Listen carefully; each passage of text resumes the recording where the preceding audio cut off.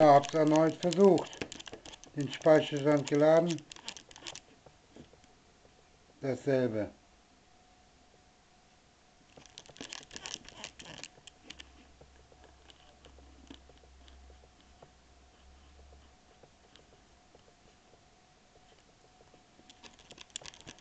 Dasselbe wie beim letzten Mal. Muss ja irgendwas sein.